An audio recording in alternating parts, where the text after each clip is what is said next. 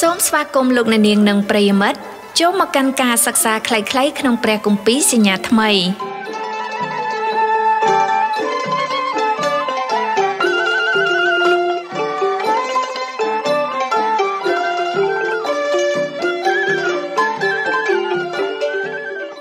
ឡូវនេះយើងកំពុងសិក្សាគម្ពីរដំណឹងល្អលោកយូហាន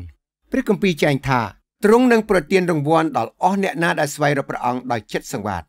ហើយខ្ញុំជឿថាលោកអ្នកជាអ្នកសង្វាតក្នុងការស្វែងរកព្រះតាមរយៈការសិក្សានេះសូមចំណាយពេលដោយយកចិត្តទុកដាក់ជាមួយខ្ញុំដូចតទៅមេរៀនទី4បទគម្ពីរយោងយ៉ូហានជំពូក3ខ17ដល់ជំពូក4ខ54ការស្រេកទឹករស់នៅក្រុងយេរូសាឡឹមពន្ធកិច្ចរបស់ព្រះយេស៊ូវបានបង្កឲ្យមានភាពចម្រុងចម្រាស់ជាច្រើនដូច្នេះជាជាងបង្កើតឲ្យវិបត្តិកើតឡើង មុនពេលកំណត់របស់ព្រះអង្គព្រះយេស៊ូវក៏យាងចាក់ចេញទៅស្រុកកាលីលេដើម្បីយាងទៅកាន់ទិសខាងជើងព្រះអង្គអាចយាងតាមផ្លូវចំនួន3ផ្សេងគ្នាបាន1ដើរតាមឆ្នេរ2ដើរតាមផ្លូវអមទន្លេយ៉ូដាន ដែលជាផ្លូវដ៏ពេញនិយមមួយ ដែលពួកសាសយូដាបានដើរដើម្បីវាងស្រុកសាម៉ារី ហើយទី3គឺដើរផ្លូវត្រង់កាត់តាមស្រុកសាម៉ារី ហើយនេះជាផ្លូវដែលព្រះយេស៊ូវ ទ្រង់យាងទៅជាមួយពួកសិស្សព្រះអង្គមានការណាត់ជួបមកពីព្រះដ៏អស្ចារ្យជាមួយស្ត្រីសាសាម៉ារីម្នាក់នៅឯអណ្ដូងទឹក នៅពេលដែលស្ត្រីម្នាក់បានមកដល់មាត់អណ្ដូងនៅពេលខុសប្រក្រតីដើម្បីមកដងទឹកព្រះយេស៊ូវបានគង់នៅទីនោះរងចាំនាងរួចជាស្រេចទៅហើយការភ្ញាក់ផ្អើលចំពោះនាង គឺដែលទ្រង់បានសុំទឹកពីនាងដើម្បីទទួលទាន ការប្រកាន់ពូជសាសន៍គឺជារឿងដ៏ក្តៅមួយ នៅក្នុងស្រុកអ៊ីស្រាអែលរវាងសាសយូដា និងសាសសាម៉ារីបើស្របតាមវប្បធម៌វាជារឿងមិនត្រឹមត្រូវដែលព្រះយេស៊ូវមានបន្ទូលទៅកាន់នាង ហើយនាងក៏ដឹងអំពីការនេះដែរប៉ុន្តែព្រះអង្គមានបន្ទូលទៅនាង ដោយភាពប៉ិនប្រសប់និងដោយការយល់ចិត្តសូមមើលទៅយ៉ូហានជំពូក4ខ10ជាមួយខ្ញុំព្រះយេស៊ូវមានព្រះបន្ទូលឆ្លើយទៅនាងថាប្រសិនបើនាងស្គាល់អំណោយទានរបស់ព្រះ និងអ្នកដែលនិយាយនឹងនាងថាខ្ញុំសុំទឹកទទួលទានផង នោះនាងនឹងសុំពីអ្នកនោះវិញហើយអ្នកនោះនឹងឲ្យទឹករស់ដល់នាងចិត្តគំនិតរបស់នាងបានផ្លាស់ប្ដូរភ្លាមលោកម្ចាស់តើលោកបានទឹករស់នោះមកពីណាចំពុក4ខ11ហើយសូមមើលទៅចំពុក4ខ13ដល់ខ15ព្រះយេស៊ូវមានបន្ទូលទៅនាងថា អ្នកណាដែលផឹកទឹកនេះនឹងត្រូវស្រេកទៀតតែអ្នកណាដែលផឹកទឹកខ្ញុំឲ្យនោះនឹងមិនស្រេកទៀតឡើយទឹកដែលខ្ញុំឲ្យនឹងคล้ายជាប្រភពទឹកនៅក្នុងអ្នកនោះ ដែលផុសឡើងឲ្យបានជីវិតអស់កលជានិច្ចស្ត្រីនោះទូលព្រះអង្គថាលោកម្ចាស់អើយសូមឲ្យទឹកនោះមកនាងខ្ញុំផងកុំឲ្យនាងខ្ញុំស្រេកហើយរវល់តែម្ដងទីនេះទៀតនាងបានគិតថាព្រះយេស៊ូវកំពុងតែមានបន្ទូលអំពីទឹកខាងរូបសាច់ប៉ុន្តែភ្លាមភ្លាមទ្រង់បានបង្កើតឲ្យមានសេចក្តីប៉ងប្រាថ្នាមួយ នៅក្នុងនាងសម្រាប់ទឹកខាងវិញ្ញាណបន្ទាប់មកទ្រង់បានបង្ហាញអំពីលក្ខខណ្ឌ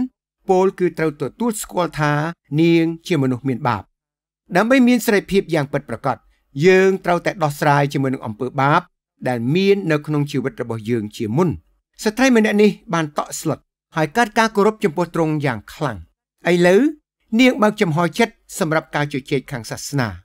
ជាញឹកញាប់នេះជាអ្វីដែលកើតឡើង នៅពេលដែលមនុស្សមិនចង់និយាយអំពីអំពើបាបរបស់ខ្លួនព្រះយេស៊ូវចង់ប្រទានទឹកនៃជីវិតដល់នាង ដូច្នេះទ្រង់ក៏រៀបចំនាងឲ្យដឹងអំពីរបៀបស្គាល់ព្រះជាម្ចាស់សូមមើលជាមួយខ្ញុំទៅជំពូក4ខ23ដល់ខ24ប៉ុន្តែពេលវេលានោះនឹងមកដល់គឺឥឡូវនេះហើយអ្នកថ្វាយបង្គំពិតប្រកបនឹងថ្វាយបង្គំព្រះវរបិតាដោយវិញ្ញាណនិងសេចក្តីពិតព្រោះព្រះវរបិតាស្វែងរកអ្នកថ្វាយបង្គំព្រះអង្គយ៉ាងនោះឯងព្រះជាវិញ្ញាណហើយអ្នកណាថ្វាយបង្គំព្រះអង្គត្រូវតែថ្វាយបង្គំដោយវិញ្ញាណនិងសេចក្តីពិត ស្ត្រីសាសាម៉ារីបានចាប់អារម្មណ៍យ៉ាងជ្រាលជ្រៅហើយនាងក៏មានចិត្តដែលទន្ទឹងចង់បានផងដែរ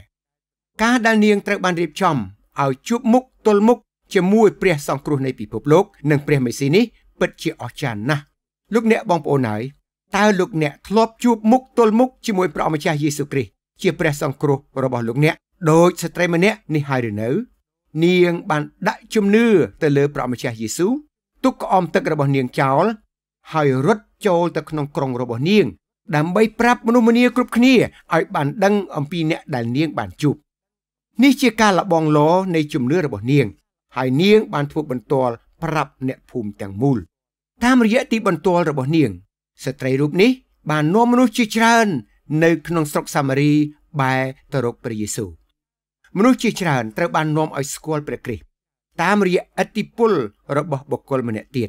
ប្រកាសណាស់ មនុស្សម្នាក់ម្នាក់មានឥទ្ធិពលទៅលើអ្នកដទៃទៀតតាមរបៀបណាមួយមិនខានដូច្នេះ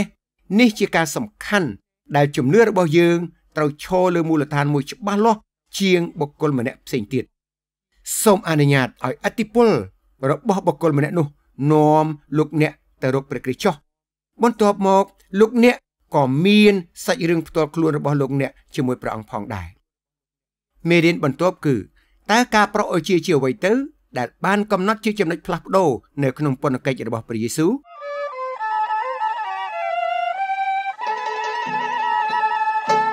សូមអរគុណលោកអ្នកនាងនិងប្រិមិត្តដែលបានតាមដានស្ដាប់នាទីសិក្សាខ្លីៗក្នុងព្រះគម្ពីរសញ្ញាថ្មីនៅថ្ងៃនេះលោកអ្នកក៏អាចបន្តតាមដានស្ដាប់និងសិក្សាលំអិតស៊ីជម្រៅថែមទៀតបាន ក្នុងកម្មវិធីសិក្សាតាមប្រព័ន្ធព្រះគម្ពីរពីថ្ងៃច័ន្ទដល់ថ្ងៃសុក្រ វេលាម៉ោង8យប់តាមវិទ្យុគ្រួសារ FM 99.5និងវិទ្យុគ្រួសារ FM 99.8ក៏ដូចជាតាមបណ្ដាញសង្គម Facebook YouTube និងទាញយកសម្លេងនិងមេរៀនពីគេហទំព័រឬ Mobile App របស់វិទ្យុគ្រួសារបានផងដែរដោយលោកអ្នកគ្រាន់តែវាយជាអក្សរ www.familyfm.org សូមអរគុណសូមព្រះប្រទានពរ